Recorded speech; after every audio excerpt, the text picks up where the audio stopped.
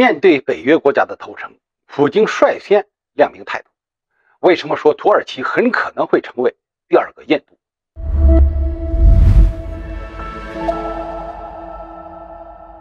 各位网友，大家好，欢迎收看《浩然观点》。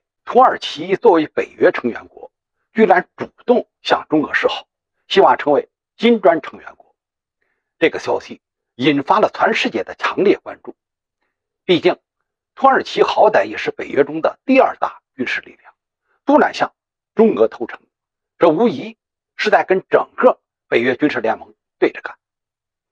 迄今为止，还没有任何一个北约国家成功加入到金砖国家当中。如果埃尔多安最终能够入院的话，土耳其也算是打破了一项世界纪录。不过，即便是埃尔多安诚意十足，土耳其也未必能够很快如愿。再怎么说，土耳其还有北约成员国这一身份。说白了，这次向中俄投诚到底是真是假还不好说。再说了，土耳其左右逢源的外交政策，无论是对中国还是对俄罗斯而言，都是个隐患。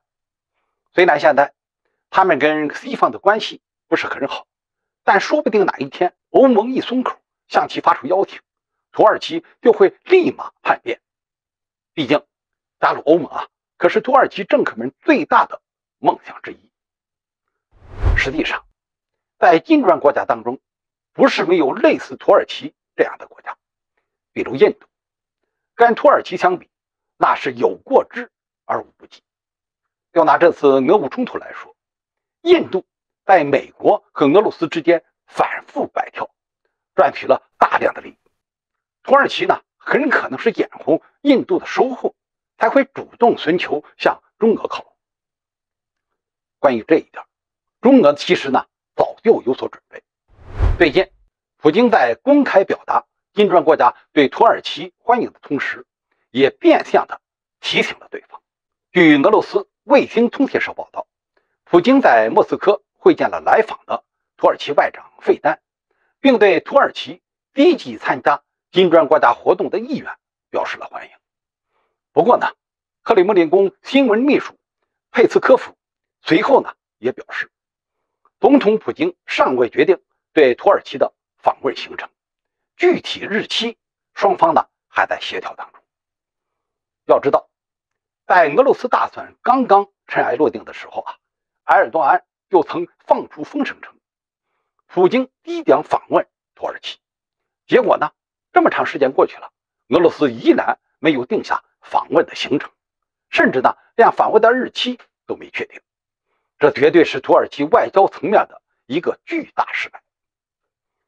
有分析人士认为，普京之所以迟迟不确定访问土耳其的行程日期，大概率呢是对埃尔多安的诚意并不满意。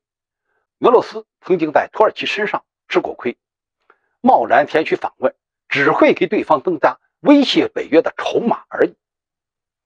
因此，为了避免土耳其成为印度第二。普京有必要亮明态度，用行动来提醒对方。如果不改变墙头草的作风，金砖国家的大门是不可能轻易向土耳其打开。